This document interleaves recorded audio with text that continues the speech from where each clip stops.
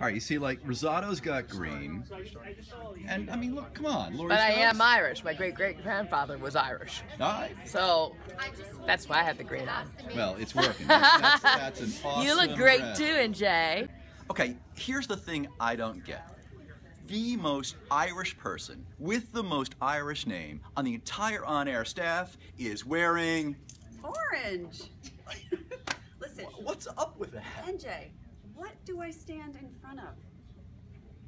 A green screen. Yes, yes. So I cannot wear green in front of the green screen. My director would kill me. You'd be a floating head. That's right. So I have a green water bottle, Okay. a green mirror, Right.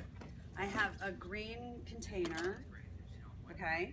I have another green container.